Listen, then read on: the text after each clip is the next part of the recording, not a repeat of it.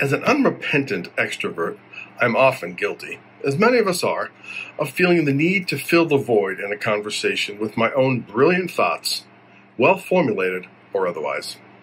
In a meeting of colleagues or during a problem solving session, this tendency can be annoying or even counterproductive. The real challenge, however, comes when leaders are in discussion with subordinates and our well intentioned words swamp the discussion and extinguish the free exchange of ideas. As we know, many subordinates can be overly deferential to authority and will happily wait as the leader proclaims solutions without always understanding the entirety of the context.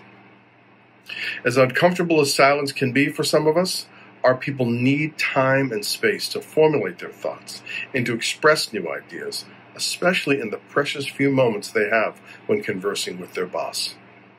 Leaders can encourage this habit through active listening, open ended questions, and resisting the urge to solve every problem on first glance.